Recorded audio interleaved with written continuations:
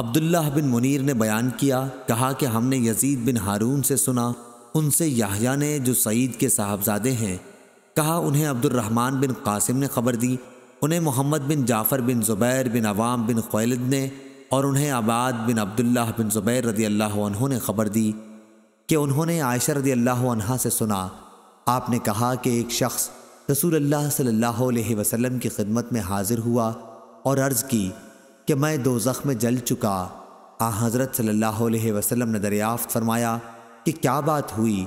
उसने कहा कि रमज़ान में मैंने रोज़े की हालत में अपनी बीवी से हम बिस्तरी कर ली। थोड़ी देर में आ हज़रत सल्लल्लाहु अलैहि वसल्लम की खिदमत में खजूर का एक थैला, जिसका नाम अर्क था, पेश किया गया।